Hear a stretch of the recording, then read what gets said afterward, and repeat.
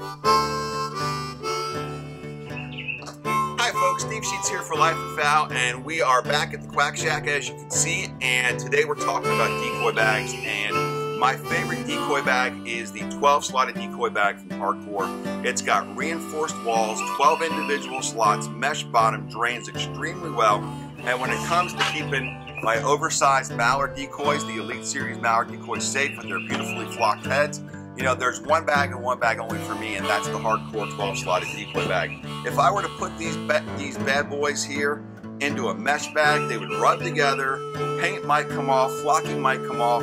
Bottom line is, if you want your decoys to last, if you want to take care of your investment, you need to invest in one of these 12 slotted decoy bags. They are great, and they make it easy for carrying your decoys to the boat or to the blind.